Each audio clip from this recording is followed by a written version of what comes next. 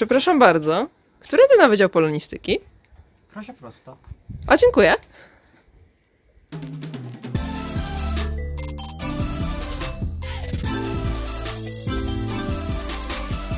Hej wszystkim, tu Pyra w Korei. Dzisiaj jestem tutaj ze specjalnym gościem z Junhee. I będziemy dzisiaj zadawać Junheemu parę pytań na temat polonistyki Korei. Cześć, dzień dobry, nazywam się Cho Chung-hee. Jestem studentem polonistyki na Uniwersytecie Studiów Zagranicznych Hanguk, czyli Hanguk-Wegugo-Deakgyo.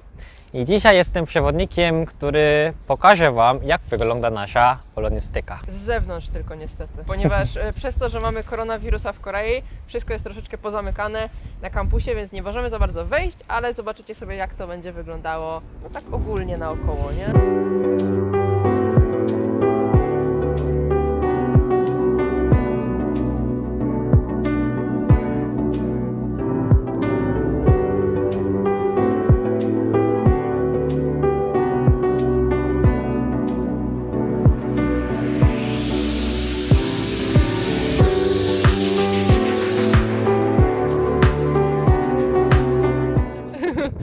Czyli to mówisz, że tutaj masz zajęcia, tak? Znaczy teraz nie masz. Tak, w tym semestrze nie mamy niestety zajęć przez koronawirusa, Aha. no ale zazwyczaj tutaj mamy zajęcia. Wszystkie zajęcia masz w tym budynku. Tak, W tym budynku. czyli w tym budynku. A teraz jak masz zajęcia? Tylko dwa zajęcia. A to masz luzik. Ogólnie masz zajęcia teraz online, to robicie to na Zoomie, czy jak to Na wygląda? Webexie. Czyli, ale to też jest takie po prostu spotkanie jakby Mhm. na Skype'ie prawie, że Tak, takie, tak, nie? Czy musicie się po prostu widzieć kamerką, Mhm. okej. Czyli nie możesz siedzieć w piżamie. Siedzą w piżamie. Siedzą w piżamie? No. Tak? Na twoich zajęciach siedzą, tak? Tak, siedzą. Ja też nawet. No zakłada się tylko koszulkę. A, No, Dos- na, na, dole to właśnie mogą być jak najwygodniejsze. Tak. Właśnie poznajcie Basię, bo Basia ze mną jest też tutaj. Jestem dzisiaj cameraman. Kamera, po- broniła naszej kamery przed upadkiem dzielnie i Basia jest tutaj na wymianie rocznej, tak? Tak. A kiedy przyjechałaś w ogóle? No we wrześniu. Czyli już pół roku. Ponad, no, więcej, no, ponad, tak, więcej, tak. więcej, więcej. No i do czerwca. Okej, to przejdźmy się tak tutaj troszeczkę.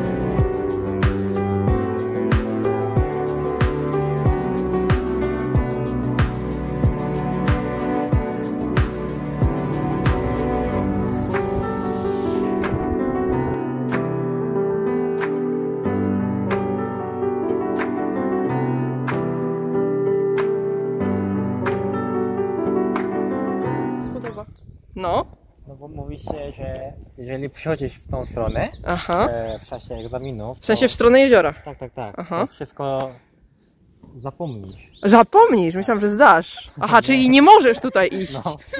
Czyli to jest droga zapomnienia, tak? O wow, ale to jest pięknie.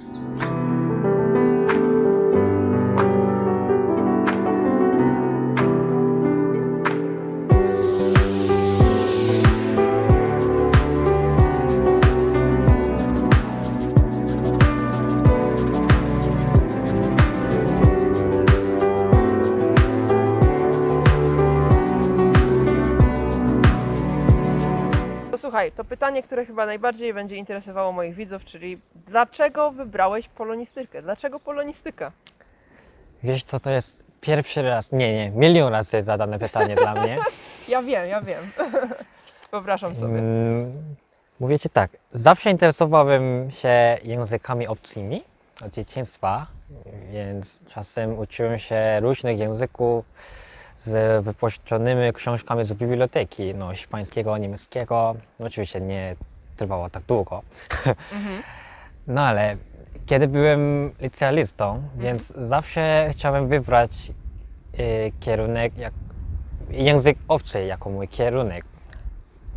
Mm, więc najpierw, na początku moim, moim cel, celowym kierunkiem Mhm. Była filologia francuska, no Mhm. bo chciałem dobrze mówić po francusku i interesowałem się Francją. No ale od pewnym momencie myślałem, że już w Korei dużo osób się go uczy francuskiego, Okej, mhm. nie? To znaczy, że mogę, też mogę się uczyć trochę później i na studiach chciałem studiować coś, coś innego, coś wyjątkowego, A, czegoś inni się nie uczą. Mhm. No więc, więc pewnego dnia po, po prostu patrzyłem na podręcznik Mhm. i tam na podręczniku była mapa światowa, Mhm. a nagle Polska na mapie wpadła mi w oko. No, a, a, a to może. No, wtedy po raz pierwszy się dowiedziałem, że Polska jest zbyt dużym krajem. Aha, okej. Obo- Zobaczyłeś na, ma- na mapie Polskę. Tak. No i wróciłem do domu i wpisałem w internecie Polandy i pojawiło się mnóstwo artykułów o Polsce, o, o rozwoju Aha. obecnym Polski i tak dalej. No, przeczytałem prawie wszystkie artykuły Wow. no i myślałem, że ono może Polska być dobrą decyzją. Mhm. A Mhm. wiedziałeś coś wcześniej? Poza tym Nie? Nie. dopiero w, tym, w tej chwili się dowiedziałem, że Chopin był Polakiem i Maja A, Skłodowska okej, też jest Polką. okej. A to więc większość Koreańczyków nie, nie zdaje sobie z tego Tak. sprawy, także. No dobra, dobra, już się zdecydowałem, pójdę na polonistykę. A wiedziałeś coś o języku polskim, że będzie trudny? Czy nie zdawałeś sobie W tej, sprawy? chwili, w tej chwili nie, więc trochę się żałowałem. mój tata i mój wujek byli bardzo przeciwni Aha. tej decyzji. No bo, no bo wiesz, no każ, każdy rodzice chce, chce swoje dziecko studiowali coś, coś, coś praktycznego, no nie? Medycynę? Medycyny, ekonomię, Prawie, zarządzanie. No ale ja chciałem studiować to, co ja rob, lubię, Mhm. w czym mogę być dobrze. Mhm. Więc wydrukowałem te wszystkie artykuły, które, znaleźli, na, Wow. które znal, znalazłem w internecie, o czym już mówiłem. I no, wydrukowałem i zrobiła się taka, taka książeczka i pokazałem mu Książeczka. książeczka. I powiedziałem, że no ojcze, popatrz, to no, taka jest teraz, teraz mniejsza Polska. Polska już nie jest krajem komunistycznym Mm. i bardzo dynamicznie teraz się rozwija, jak no, Korea Południowa, jak wcześniej. No, a później już, już się. Zgodził. i- tak. Ale to bardzo fajnie podeszłeś do tego tematu, że tak właśnie, że logicznie, na spokojnie wytłumaczyłeś, a nie tam powiedziałeś, ja idę i tyle, tylko tak spróbowałeś właśnie przekonać swojego tatę do, do tego. Jakbyś mógł trochę opowiedzieć o polonistyce w Korei? Ta polonistyka, którą teraz widzicie, jest jedyną polonistyką w Korei Południowej. Ona została założona w 1987 roku, O, dawno temu. no, dawno temu, ale wtedy Korea i Polska nawet nie utrzymywały ze sobą kontaktu, nie, tak, stosunków dyplomatycznych, Aha. prawda? Bo od dopiero, dopiero od 89 zaczęliśmy mieć No proszę. no, no, te A już relacje. polonistyka była. Tak, już była polonistyka. Mhm. No bo wtedy rząd koreański już przygotowywał się do, Mhm. wiesz, nawiązania, nawiązania stosunków dyplomatycznych z krajami za żelazną kurtyną. Mhm. No więc zaoferował stypendium studentom, Mhm. żeby wychować specjalistów Od języka e, polskiego. tak, tak, tych krajów.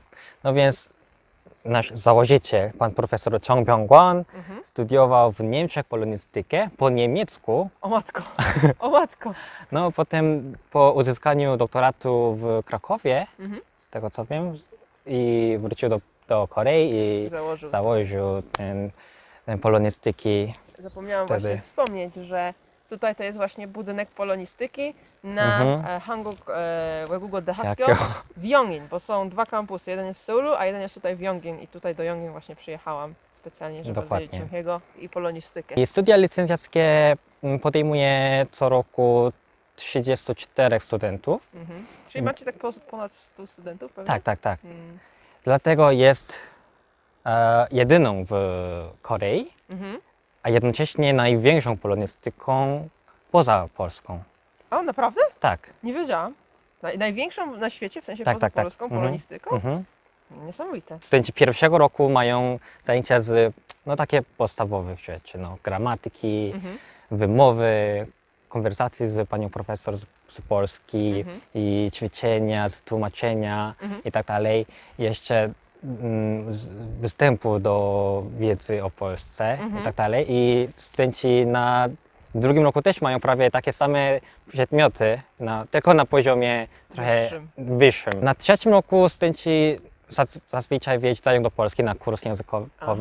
Większość studentów wyjeżdża, tak? Tak, tak. Okej. Bo oferuje nasz y, uniwersytet dużo stypendiów. Jest dużo różnych wymian, które Mhm. macie. No bo wiesz, język polski jest jednym z 20 rzadkich języków obcych, które, Tak. który, których edukacja jest ważnym elementem, e, ważnym elementem polityki językowej rządu koreański. Tak? Mhm, Ja się tutaj dowiaduję naprawdę nowych rzeczy. Nie wiedziałam, No, nie miałam pojęcia. Dlatego rząd i nasz uniwersytet oferuje dużo stypendium Mm. albo możliwości, żeby studenci polepszyli swoją umiejętnością. Co roku odbywa się konkurs krasomówczy języka polskiego Aha. z współpracą e, ambasady Rzeczypospolitej No, Polskiej w jak to Seulu. wygląda? Robicie jakąś przemowę, tak? Tak, tak, tak. Studenci sami wybrali e, swoje tekst, teksty, Tematy te, te tematy. Aha. No i no, no taka, taka konkurs krasomówczy. No i widziałam, że ty brałeś udział. No, na szczęście i zająłem pierwsze miejsce, dzięki Aha. czemu dostałem stypendium. Dwa razy wziąłem udział Aha. w tym konkursie. Też wygrałem i mogłem pracować na staż Masakra, wow, W- naprawdę. w Warszawie. W Warszawie jest Centrum Kultury Koreańskiej.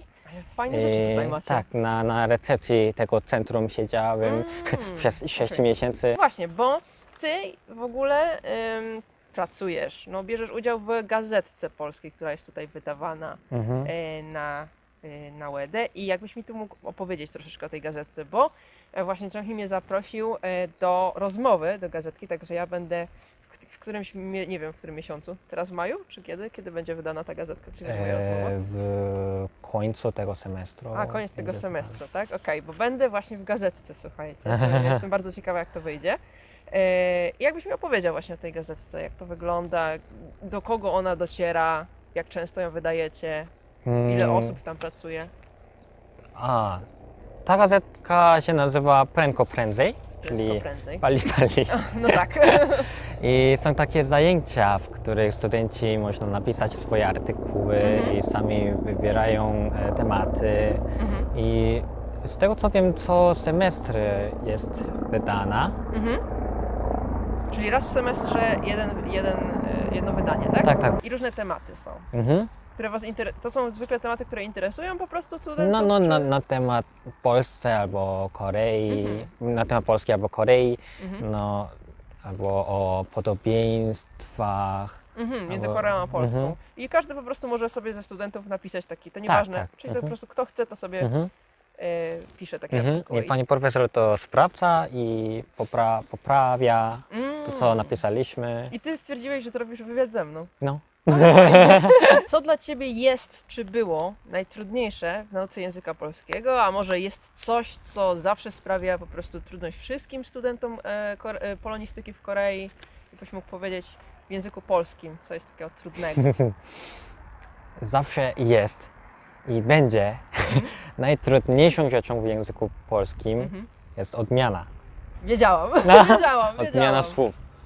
No bo chociaż u nas też jest, jest taka odmiana. Ale nie do końca, nie? ale nie, nie, nie do końca. Nie jest to aż tak skomplikowane, tak, Tak, tak tak. jak w, w języku polskim. No na przykład um, w języku polskim musicie odmieniać przez przypadki, liczby, rodzaj, no są rodzaj męski, żeński i nijaki, prawda? Tak. tak.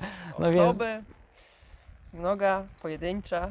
Właśnie. wszystko. Mhm. Więc często tak się zdarza, że Ale zanim... nie słyszałam, żebyś w ogóle jakiś błąd popełnił. Cały czas Nie, gadamy i ja nie słyszę, żebyś w ogóle z odmiany robił jakieś błędy. Nie, już Także- zrobiłem milion razy. Dla mnie to jest po prostu fascynujące, jak dobrze mówisz po polsku. Dziękuję.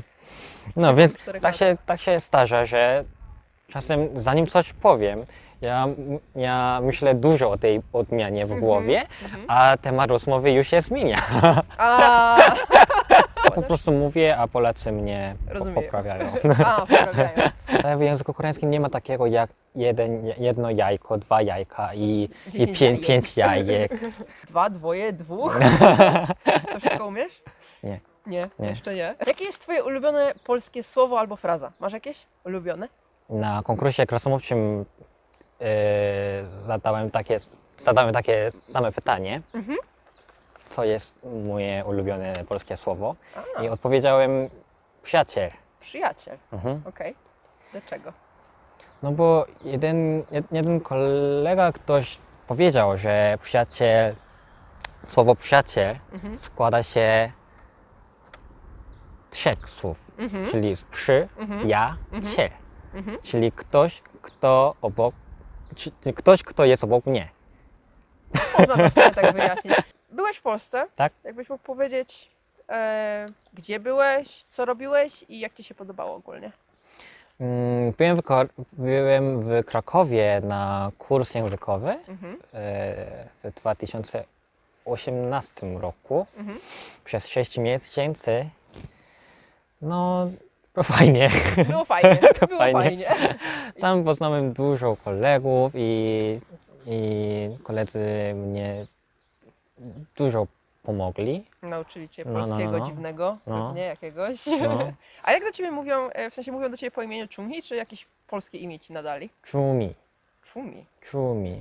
Bo Polakom jest trudno Tak, wymawiać Tak, tak, tak, tak. Kore- Czumhi. koreańskie, koreańskie imiona trochę trudności No. sprawiają. Wróciłem do Korei i tam wtedy jeszcze był ten, ten konkurs w Krasnowcie. I wtedy wygrałeś. Mhm, mhm. Wróciłeś do Polski. Mhm. Wróciłem do Polski, do, do, do Warszawy i wtedy pracowałem w Warszawie. Wtedy już po polsku na przykład tam pracowałeś, czy to po koreańsku bardziej pracowałeś? Po polsku pracowałem nie, Mhm. raczej, no bo ja siedziałem na rec- recepcji Aha. i musiałem kontaktować z Polakami Aha, i ucznia, uczniami, e, któ- którzy się tam uczą koreańskiego, no bo w, w Centrum Ku- Kultury Koreańskiej jest Sejong학당 Mhm. Tak, tak, Mhm. tak, tak. i są Kursy. kurs, kursy, kursy językowe. Ja pamiętam jedno, że Mhm. kiedy pracowałem w CKK, Mhm. no ja, ja czasem nie rozumiałem, prawda? Po No tak. polsku, no. Czasami się zdarza. No i kiedyś rozmawiałem przez telefon Mhm. i ta pani, Mhm. no Polka oczywiście, Mhm. nagle krzyczyła na mnie. Kurwa, czemu on tam siedzi, skoro nawet nie umie polskiego? O Nie, nie zna polskiego i O nie, trzasnęła słuchawką. No to, to są osoby, którymi się nie powinno przejmować. Takie osoby to się ignoruje, bo to są osoby, które zupełnie mm, e, brak kultury osobistej to się nazywa. To nie ma, nie ma się co przejmować takimi osobami. no wtedy mi bardzo było przykro. Zawsze tak jak się uczysz języka, że zawsze będzie coś, czego nie zrozumiesz. I większość Polaków, jeżeli, tak samo zresztą większość Koreańczyków dla mnie, jeżeli się po prostu, przepraszam, nie rozumiem, powie, powtórzą albo powiedzą No, jeszcze raz e, innymi słowami, nie? I wtedy zrozumiesz. Czy Koreańczycy ogólnie dużo wiedzą o Polsce i czy są zainteresowani Polską? na razie Polska jest dla Koreańczyków odległym krajem, Mhm. bo jest nieznany, Mhm. nieznana, Mhm. No ale e, Polska staje się coraz bardziej atrakcyjnym krajem dla turystów. Do Warszawy, do Krakowa. O, To fajnie, bo mnie to cieszy, bo Kraków mi się wydaje przepięknym miastem. Mhm. Widziałeś zresztą. tak, tak, tak. I pięć lat temu w konkursie Chopinowskim Mhm. e, tam wygrał korea, koreański pianista, prawda? Racja, racja, racja. Aha. Tak, tak. I od, od tej pory Koreańczycy już wiedzą, że, że Chopin był Polakiem. A, okej. Nie wszyscy, nie wszyscy, ale mi się wydaje, że po, Koreańczycy też się troszeczkę zaczęli interesować Polską od 2001 roku, jak e, Korea gra z Polską No, na mistrzostwach. No dobra, to słuchaj, pozdrów jeszcze moich e, widzów. Jak Już? Już? Tak, koniec, ostatnie pytanie. Pamiętajcie o łapkach w górę, o subskrypcjach. Do zobaczenia następnym filmikiem. Pa! Nie następnym filmikiem, pewnie na następnym filmiku nie zobaczycie mnie. No ale Chyba nieważne, nie, ale whatever. myślę, że kiedyś, myślę, że tak. No, dzięki za, jeszcze raz za rozmowę, było super. I Dziękuję widzimy się w serdecznie. następnym filmiku. Nie. Mój pani profesor też się tak się bała na zajęciach, słysząc te, A, ten, tak? ten, że no, no jakby wojna się wybuchnęła. Przesady, przesady. Dobra, akcja. Czekaj, czekaj, czekaj, za, za szybko szedłeś. Okej, chodź. Przepraszam, przepraszam, przepraszam. Którędy? Teraz przejdę do przodu. A. A teraz się wstydzisz? Całą rozmowę ze mną zrobiłeś, a nagle się wstydzisz?